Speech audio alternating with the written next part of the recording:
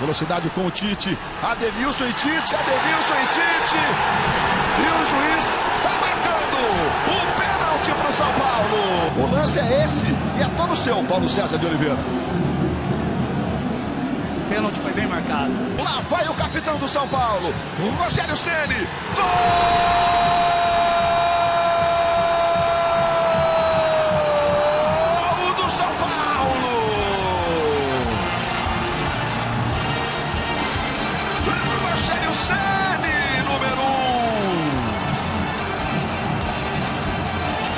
Bola chegou Souza pro Ganso, devolveu pro Souza, roubou pro Kardec.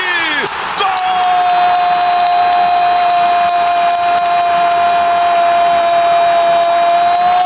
De Allan Kardec! Gol de estreante na Fonte Nova!